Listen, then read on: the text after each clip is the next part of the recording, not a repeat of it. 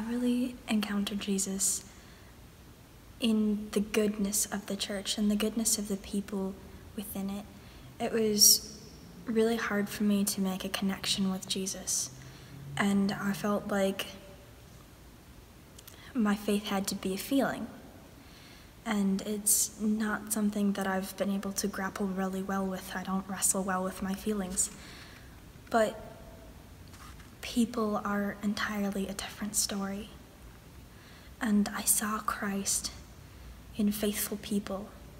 I had this emptiness, a sort of a longing that I couldn't articulate because it was too much of a feeling.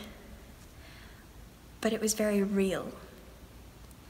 And I saw people who didn't have that gap, that gap that I had, that sort of emptiness or longing.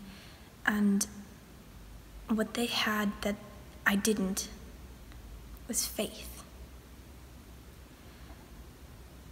So I drew closer to them.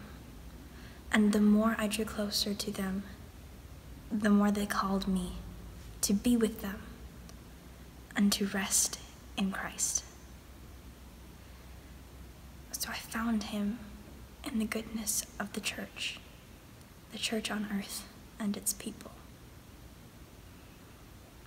So that's my story. How have you encountered Jesus?